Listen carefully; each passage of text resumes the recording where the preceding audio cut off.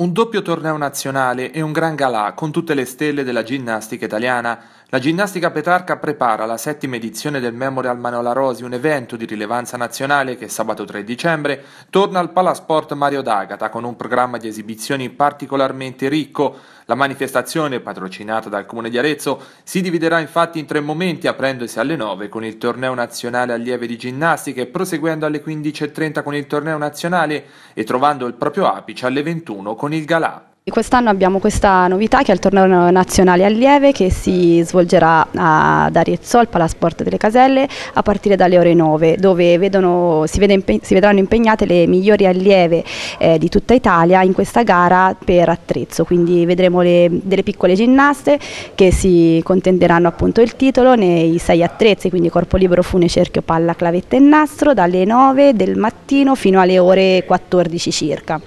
mentre il torneo nazionale ehm, di ginnastica ritmica Memorial Manola Rosi avrà inizio alle 15.30 e vedrà appunto 18 rappresentative nazionali dei vari comitati regionali con eh, il susseguirsi di tre ginnaste, una, una allieva, una junior e una senior. E la sera alle 21 eh, il Gran Galà dove saranno appunto ospiti la squadra nazionale di ginnastica ritmica recente dalle ultime Olimpiadi di Rio, la squadra juniores di ginnastica ritmica e le ginnaste del Team Italia che hanno partecipato appunto a mondiali e olimpiadi. E noi ricordiamo in questo appuntamento la figura di Manola che appunto è stata eh, una grande tecnica a livello nazionale e internazionale oltre che ovviamente è stata anche mia tecnica quindi la ricordo in particolar modo e quindi diciamo che è stata con lei che mi ha dato le, le basi per poter intraprendere questo viaggio e questo lavoro che attualmente sto portando avanti con la sezione ritmica eh, che appunto come abbiamo appena ricordato ha ottenuto la salvezza nel campionato campionato nazionale di Serie A1 quest'anno